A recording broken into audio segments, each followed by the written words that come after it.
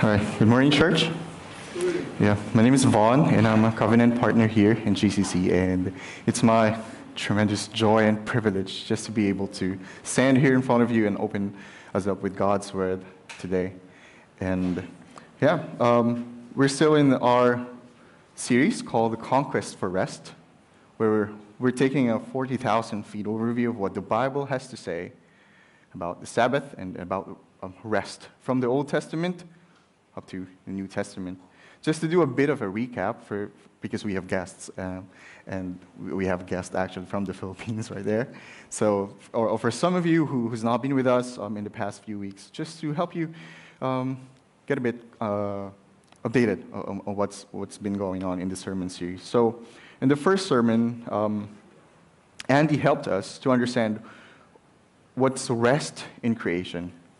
And we learned how God set an example for humans of just how it is to, to work and uh, to stop and to delight. And we learned how this earthly rest that we have points out to a greater reality of, of rest, um, the eternal rest which we will have with God in the new creation. In the second sermon, we learned that Sabbath means resting in God's um, sovereign goodness power, and provision. Um, Dr. Mooney helped us understand that Sabbath for the Christian is resting in God's goodness, power, provision, and promise in Jesus Christ. And just last week, Andy preached to us about the Sabbath still, um, going from Psalms, uh, Psalm 95 to Hebrews uh, 3 and then to Mark 2, where he talked about um, that Sabbath is actually entering and enjoying rest through the work of Christ. And they preach to us the truth that Jesus Christ paid the price, completed the work of salvation, and we are now called to trust and rest in Christ's finished work on our behalf. And this morning, from that high overview of the Bible, bear with me because we're going to be zooming in to one text where we hear Jesus Himself, the Lord of the Sabbath, and inviting us to come and enter His rest, to come and find rest for our souls. Let me read to you our passage this morning, which comes from Matthew 11, verses 28 to 30. Come to me, all who labor and are heavy laden and I will give you rest. Take my yoke upon you and learn from me, for I am gentle and lowly in heart, and you will find rest for your souls. For my yoke is easy and my burden is light. Let's pray. Our Heavenly Father, we come to you this morning, not in a position of strength but if in a position of need. Many of us here would resonate how wearisome and how burdensome life on earth can be. And we ask, Lord, that you would come and speak to us and do what only you can do, and that is to give rest to our souls.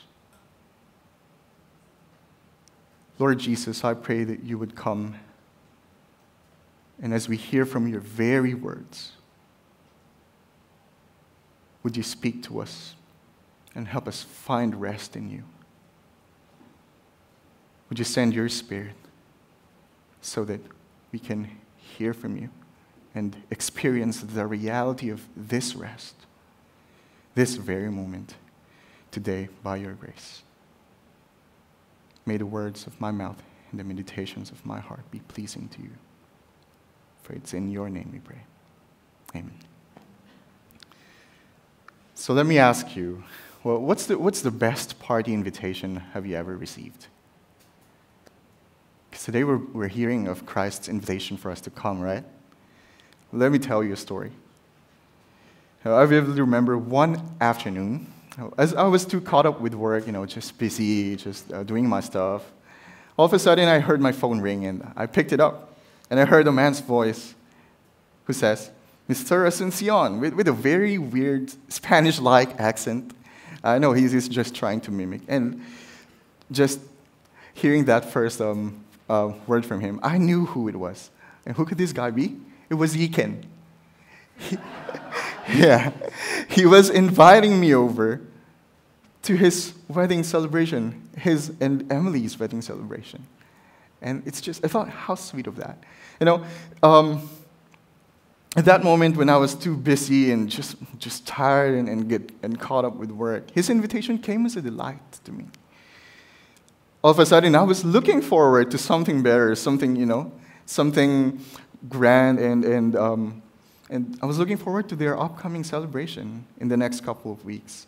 And I tell you, it was the best wedding celebration I've ever seen in Malaysia. It was the first one. now, so if an invitation like this has the capacity to, do, to bring even just the slightest bliss in the midst of my busy day and make me look forward to it, I wonder how much greater the joy that this invitation of Christ would bring to a soul who is weary, who's burdened and just yearning for rest. And let me tell you, Christ has a much greater invitation for all of us this morning. He invites us to rest in Him. And if you would come, you would be invited to the greatest heavenly feast as pictured in Revelation 19, the marriage supper of the Lamb. So, in light of this invitation, we have three questions to ask Who's invited?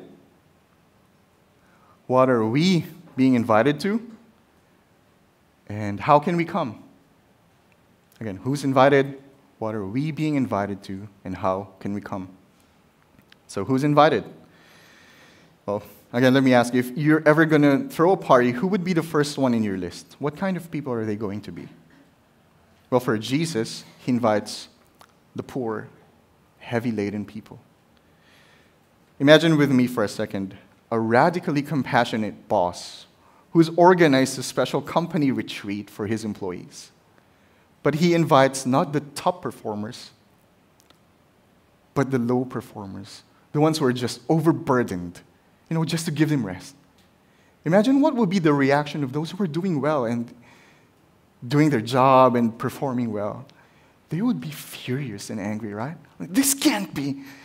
I'm doing my best here, boss. Don't you see my efforts for you?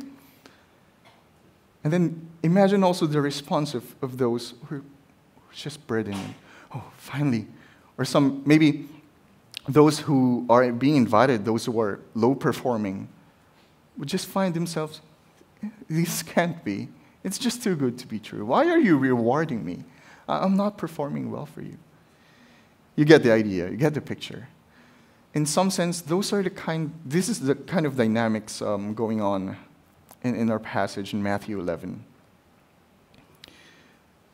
Just in the earlier, earlier verses, Jesus has renounced unrepentant cities who refused to accept him despite the many miracles that they saw. Then he praised the Father for hiding himself from the wise, the understanding, people who think they, they had it and thanked him for revealing himself, his gracious will of revealing himself to little children, to the poor and needy. He then said, Come to me, all who labor and are heavy laden, in verse 28. Jesus is ex- extending the sweetest invitation of all who labor, uh, uh, for all who labor and to those who are heavy laden to come to him. It's hard to miss the scope of this. It says, he says, all, all of you. Before we can taste the sweetness of this invitation, we must first realize our need to, for it. Are we part of those whom he says, all? Are you weary? Are you burdened? And to get a better understanding of who these people are, or what kind of people Christ is inviting, let's first notice those who labor. Those who labor are, are the ones who are actively working for righteousness, who are actively working for salvation. Then there are those who are heavy laden, who are passively bearing the burden, carrying the burden of guilt, sin, of, of not measuring up. And these are the ones being invited by Jesus to come to him. One preacher said, It is to these the Savior addresses his loving admonition. And in fact, he tells them, This is not the way to rest. Your self imposed labors will end in disappointment. Cease in your wearisome exertions and believe in me, for I will at once give you rest, the rest which my labors have earned for believers. The preacher went on to say very quickly those who are anxiously and self righteously working for salvation Paul in, fall into the passive state of being burdened. Their labor itself, he says, becomes a burden to them.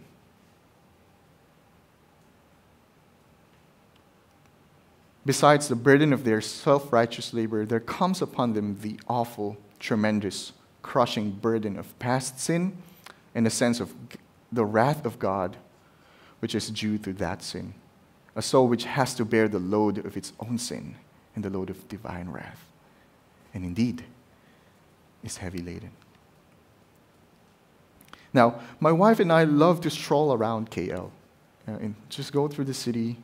Miles loves to take pictures and take videos of interesting things to see around. And as we go jalan jalan, as we stroll around, um, it's hard to miss the big temples, places of worship from different religions, right? And it's amazing how diverse the religious landscape in KL is.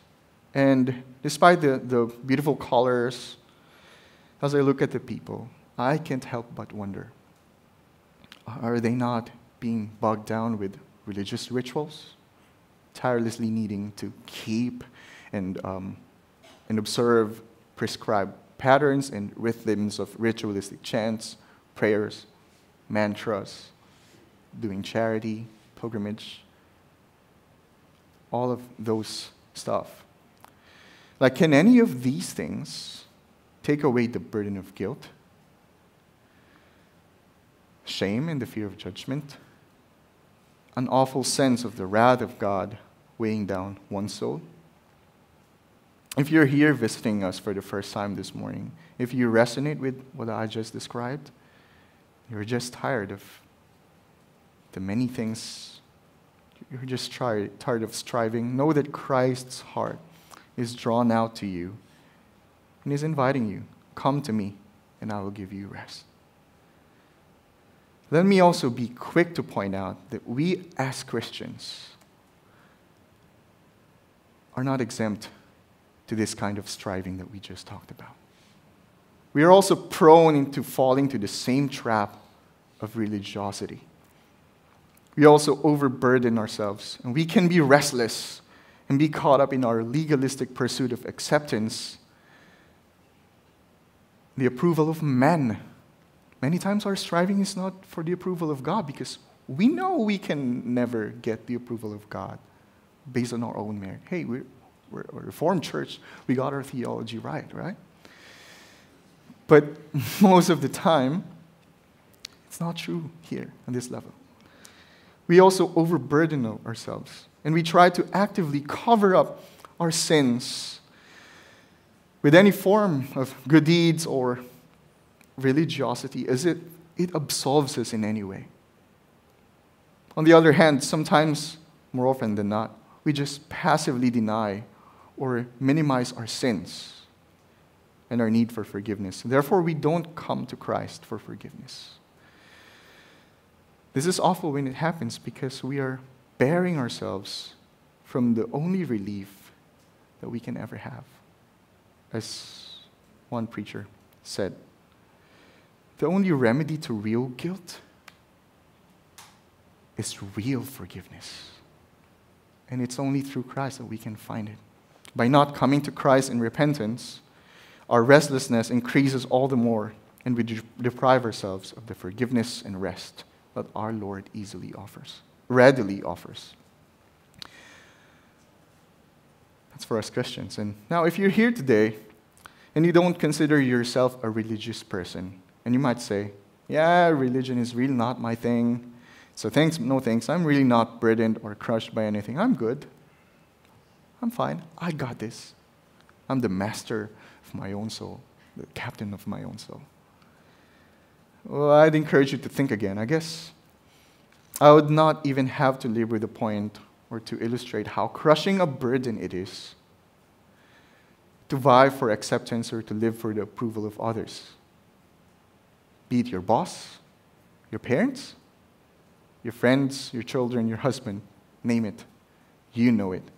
And it's a terrible way to live just to meet someone else's expectation. Yet we humans tend to do all sorts of things just so that we can live up to standards. The feeling of not measuring up is just awful. It creates a lingering dissonance in our hearts and in our minds. It just doesn't resolve. It just doesn't go away. A New York Times author, a New York Times author calls this the eternal murmur, the e- eternal inner murmur of self-reproach, or the machinery of self-censorship. I personally know this as that constant and nagging feeling, just a voice telling you, you're, you're not good enough. You're not good enough. And this translates even to us Christians and virtually to everyone else. We just got to do something more. And so we pile up our works of self righteousness. We anxiously toil so that we can feel better about ourselves. We beat up ourselves to do better, and we might do a good job until a certain point, but will eventually fail. We will eventually fail, and then again, we're driven back to despair. And on and on goes the vicious cycle of works based repentance and striving, fleeting success, and then eventual failure, then back to despair. If in any way you identify with I'm, what, what I'm saying, then Christ's invitation is for you. It's for us indeed. Jesus is telling us to come. He alone has the power and the heart to free us from our anxious toil of religiosity. He alone can silence the eternal inner murmur of self reproach and give us rest. So, are you weary? Are you heavy laden? You're invited. Come. Come to Christ. Come to rest in Christ. And this brings us to our second point. What are we being invited to? Christ is inviting us to rest. And this rest doesn't just mean physical rest, He means more rest for our souls. We'll divide this point into two subpoints where we will talk about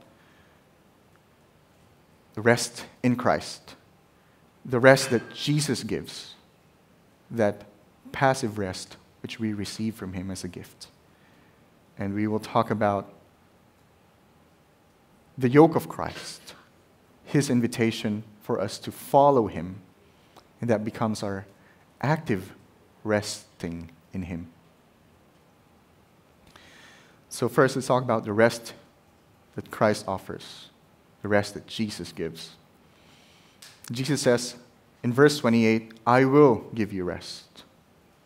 And again in verse 29, you will find rest for your souls. When you think of rest, what comes to your mind first? Probably most of us think rest is just stopping from any activity, just doing nothing. That's rest. For some of us, we think of rest as time with family. For others, hanging out with friends. Some people equate rest with doing recreational activities like watching movies, go watch Barbie, go watch Oppenheimer. or for some of us, because we're in Malaysia, you have to go mamak, you go, go a food trip while others find rest in doing physical activities like running, hiking, biking. I don't relate to that. I just want to stay at home and, you know, sleep. And that's rest for me. You see, there's variety of definitions and interpretations that we can we have for rest. But what kind of rest is Jesus promising? It's not merely physical rest, peace of mind, or relief for, from our daily burdens. Well, the rest that he offers does not exclude those. But it's more than those things, it transcends those things. What Jesus is offering here is soul rest, the ultimate rest one soul can ever have. It's what Tim Keller called the REM sleep for the soul. In terms of physical sleep, we know that there's what scientists call the rapid, rapid eye movement sleep, you know, the kind of sleep that we need, that our bodies need so that we can be refreshed. And Jesus says, there's an REM for your soul. And I'm giving it to you. It's a kind of rest that shuts down the machinery of self reproach and hushes the eternal inner murmur of our souls. That's what he's offering. And to get a better grasp of what this kind of rest is that Christ is promising, let's try to peer a little bit into Christ's own understanding and theology of, of himself as the rest giver. Now, I'm not a theologian, so bear with me. But through his words in Matthew 11, I'd say Jesus is being very careful in his choice of words. by calling the weary and burdened to himself and inviting them to come and take his yoke. And then, as a result, promising rest for the souls. Jesus is quoting directly from Jeremiah 6, verse 16. Thus says the Lord Stand by the roads and look, and ask for the ancient paths, where the good way is, and walk in it and find rest for your souls. What is he saying here? Jesus is making an astounding claim by inviting people to come to him and then offering rest for your souls instead of calling them to the ancient paths or to the good way, which otherwise um, can be understood as, you know, the law and the prophet, what the prophets are calling the people of Israel back in the Old Testament. No, no. Jesus doesn't call his uh, audience back to the law, but unto himself. And then he offers rest. In other words, Jesus is presenting himself as the very fulfillment of whatever the prophets and the law was pointing to.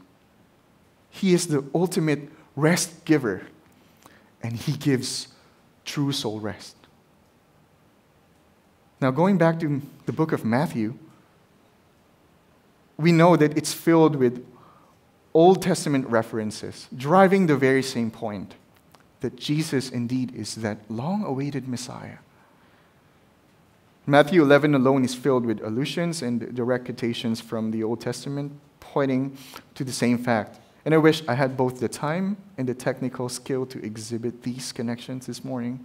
However, let's maybe try one in the immediate context of Matthew 11, we will find another confirmation coming from the mouth of Jesus himself, as recorded by Matthew, that he is indeed the Messiah.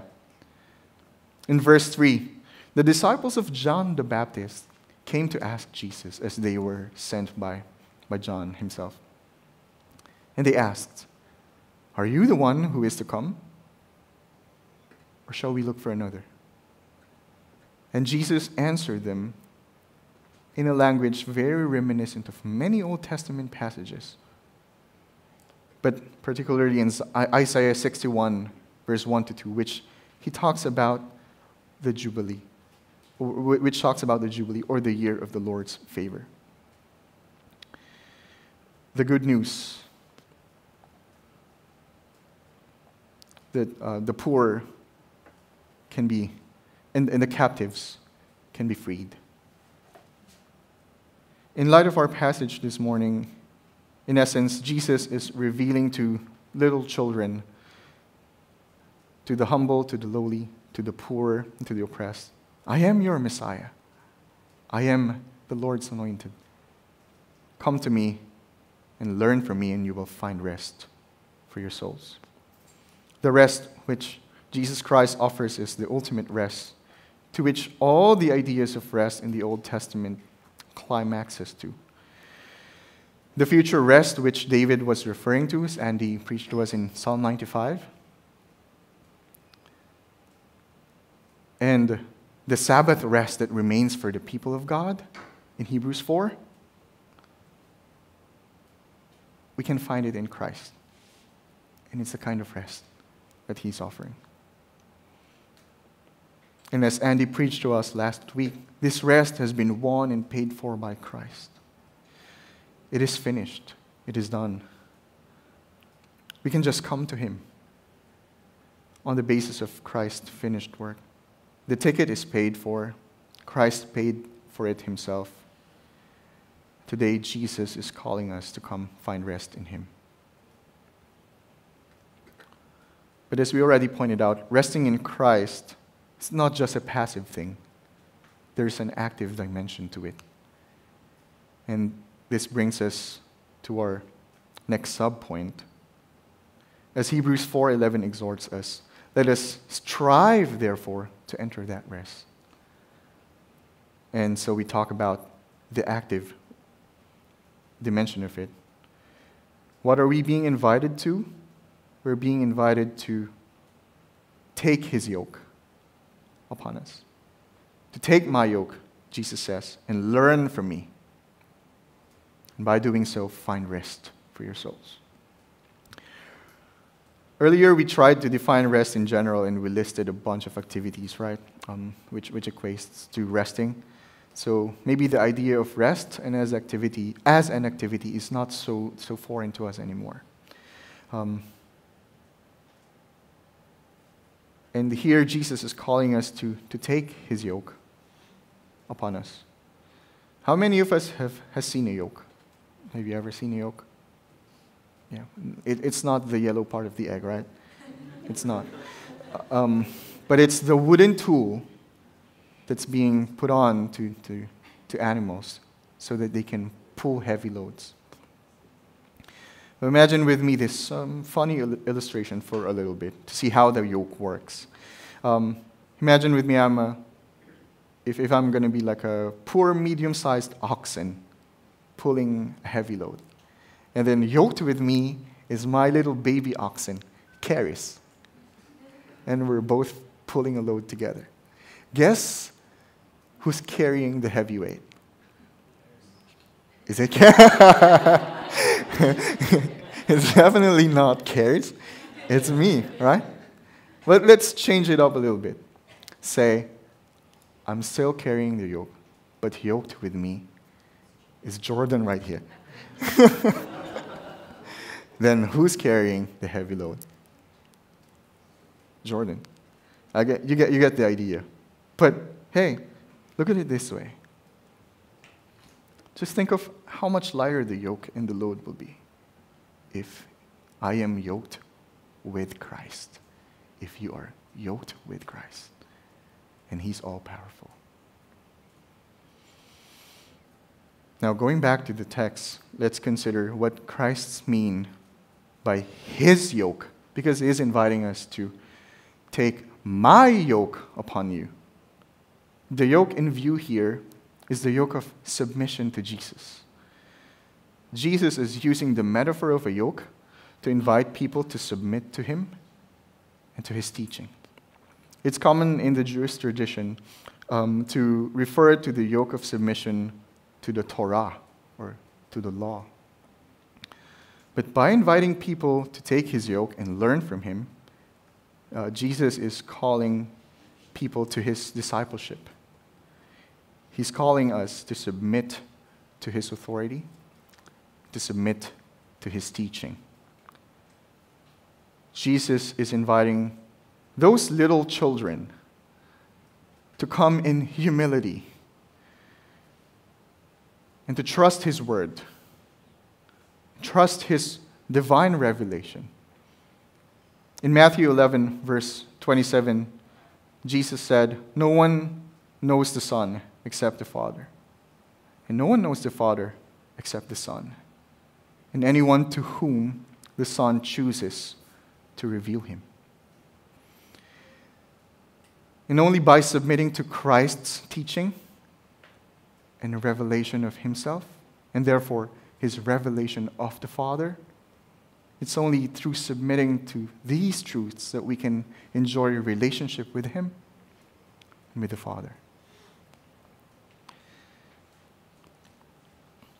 By inviting us, or by, by calling us to take his yoke, Jesus invites, his, invites us to his discipleship.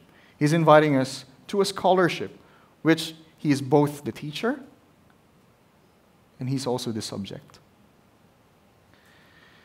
And oh, what a life giving teacher, and what a glorious subject matter he is. We can spend the whole of our lives learning of him and the glories and his glories in the gospel. And it will not be enough for us just to fully comprehend his glorious person and work.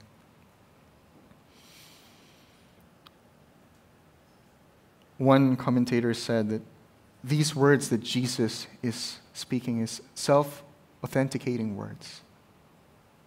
It doesn't need proving, actually. And I invite you to just come, come to Christ and see for yourself. But I would say if we take Jesus and his teaching, the main authority of our lives, what joy would it bring us? despite and in spite of all the hardships that this life may bring. You see, taking Jesus' yoke and submitting to him, to his teaching, gives relief to the soul. In contrast to submitting to the Pharisees' legalistic interpretation of the law, which becomes a crushing burden. In Matthew 23, verse 4, Jesus announced and, and pronounced his woes to the Pharisees. And he said, They tie up heavy burdens hard to bear, and they lay them on people's shoulder, but they themselves are not willing to move them with their finger. But Jesus, in contrast to the Pharisees, he's not like that. He's not unwilling to. He's not putting burdens to us. It's not going to put a burden and a yoke to you and not being willing to lift a finger. He says, His yoke is easy and his burden is light. By saying his yoke is easy, though, and his burden is light, Jesus doesn't mean that the Christian life will be just like a walk in the park. It's just, I wish it can be like that, but it's not like that. There's work to be done. There's real burden that comes to, with following him. And Jesus himself thought that his followers have a cross to carry. He didn't promise a trial free life. Instead, he promised tribulation to his disciples. But this warning didn't come without any encouragement. He said, Take heart, for he has overcome the world. Hence, John, in his first letter, can say that his commandments are not burdensome.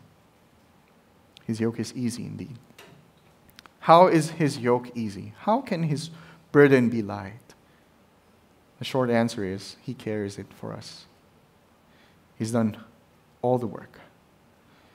We will expound this answer by looking at what kind of Lord and Savior he is. This leads us to our last point, where we will consider the heart of Christ in his person and in his work. So, considering Jesus' invitation for us to come, we've been asking who's invited? What are we being invited to? So, who's invited? Those who labor and are heavy laden. What is he inviting us to? He's inviting us to find rest in him, both actively and passively. Next question is how can we come? How can we come? Short answer again just come. Stop asking questions, just come. Away with your doubt, away with your hesitations, just come. No prerequisites, no caveats whatsoever. Well, actually, the warning or, the caveats apply to those who would not come, to those who would reject his invitation. We'll touch on that a little bit later. But if you would come, just come. Come and see.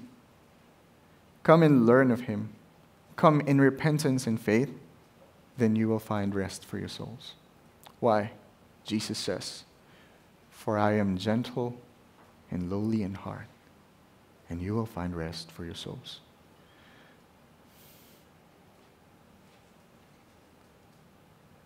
Imagine if you received a dinner invitation from a very prominent person, say the King of England, dinner at Buckingham Palace. Uh, for sure, there will be some kind of intimidation or feeling of unworthiness that, that comes with that kind of, with receiving that invitation, right? You might ask all sorts of questions like, why me? How can I come? What would I wear? What should I bring? What am I going to do?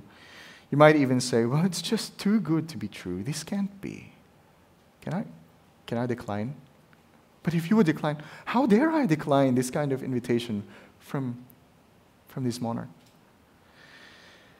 But what if I tell you that the King of Kings himself, the God of the universe, the Son of God, one with the Father,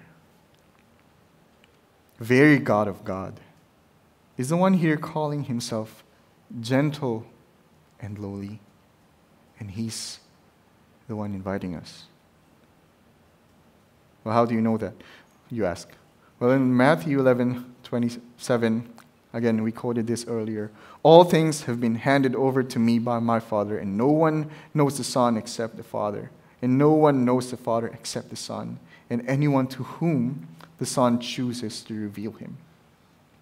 Immediately following this, verse 27 is you guessed it, verse 28. Um, and it's, it's what we've been talking about, where Jesus invites us to come. The gentle and lowly Messiah is also the high and exalted Lord.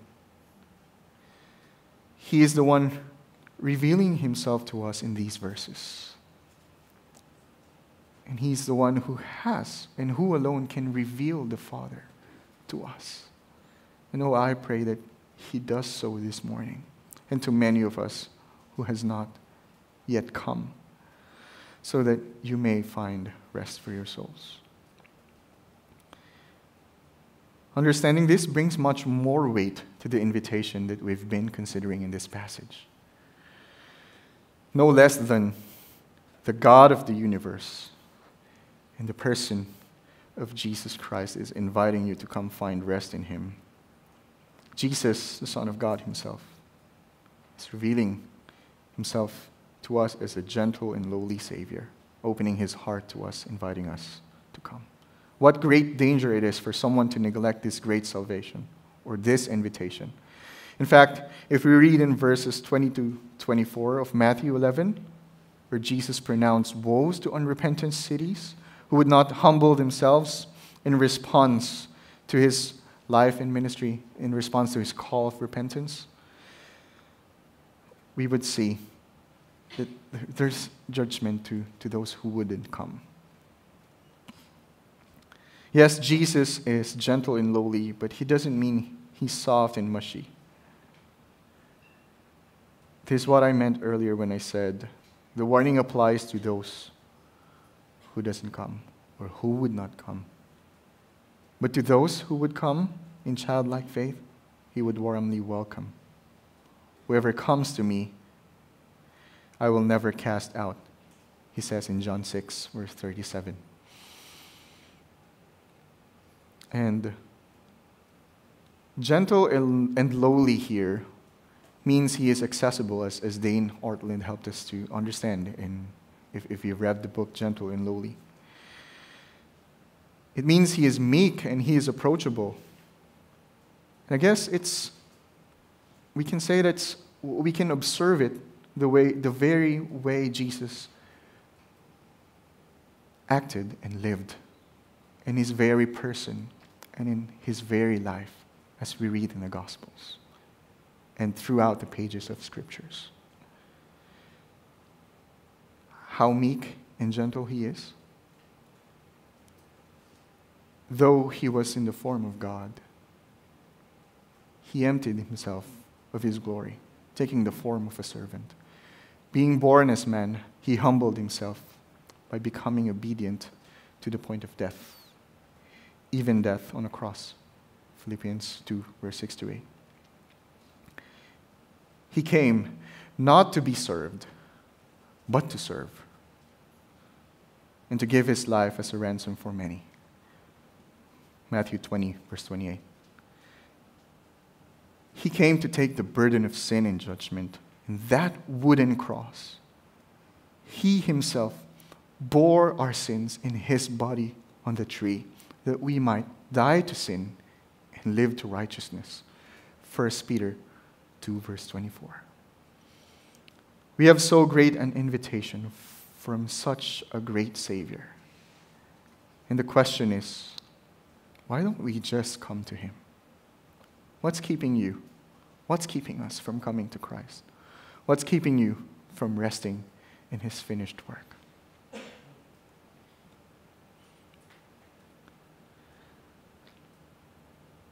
Are you weary and burdened with your actively working out your self righteousness? Are you just tired of works based repentance? Jesus Christ Himself has fulfilled all the requirements of the law. He has lived a perfect life in obedience and in submission to the law of God. So that as we put our faith in Him and His finished work on the cross, He would clothe us with His righteousness a real one, not a manufactured one, not a filthy rag. He takes away the filthy rags of our self righteousness and gives His own. Are you crushed down by the weight of your sins and guilt? Christ on the cross has borne your grief and carried your sorrow. He was pierced for your transgression, crushed for your iniquities. He received the chastisement that brought us peace with God. You don't have to beat yourself up. He has taken all the beating for you. He's taking taken all the beating for us. In the cross, He bore the anguish of the wrath of God so that we can receive the love of God and thereby be called children of God. Are you weary and burdened from actively striving for acceptance? Christ was rejected by men, abandoned by his followers, and at the greatest time of his anguish on the cross, as he was bearing all our sins, he cried to the Father, Why have you forsaken me? He was forsaken so that we can be accepted in Christ, we have been adopted as the children of God. Now we can come and call God as Jesus calls him Abba, Father. Jesus rose again, and he has given us his Spirit that allows us to do so.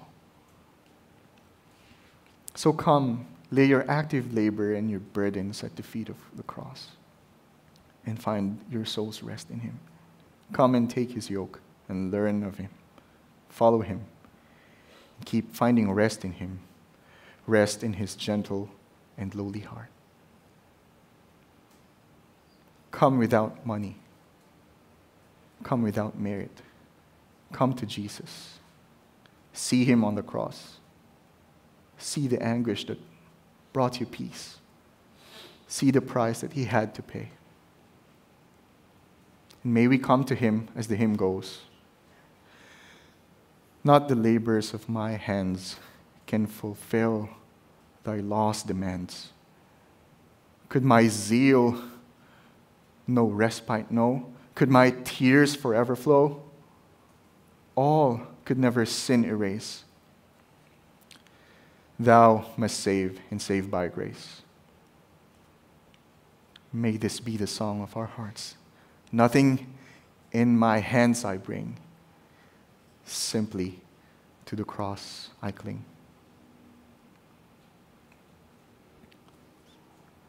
We can taste the reality of the future promise of eternal rest in its fulfillment in the person and work of Christ.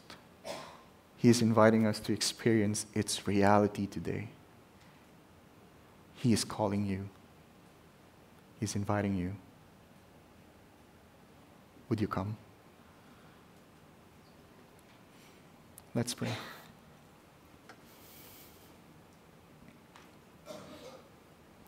Father,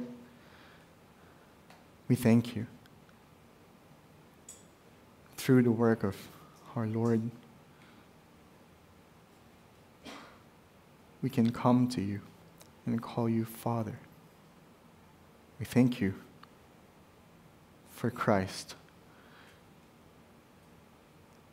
living a perfect life, living righteously in accordance to your word fulfilling all its demand.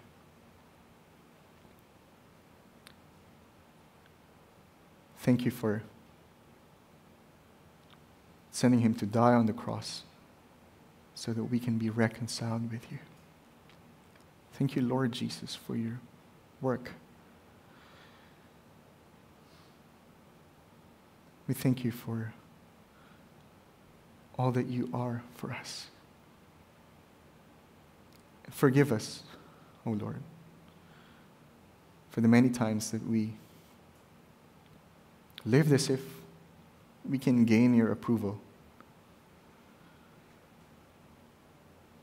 for living for acceptance of others.